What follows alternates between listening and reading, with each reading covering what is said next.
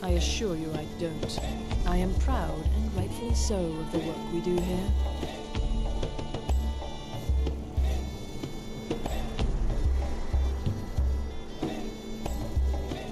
Watch it!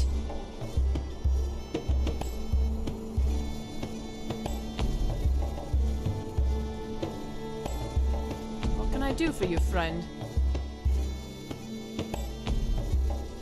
What a stroke of genius to establish a fish market in the very heart of the capital city. It's a true testament to the Nord's understanding of refinement and sophistication, as evidenced by the pungent aroma of fish that wafts throughout the area in all directions. Yuck! Just got here from the Summerset Isles. Lots of opportunity in Skyrim.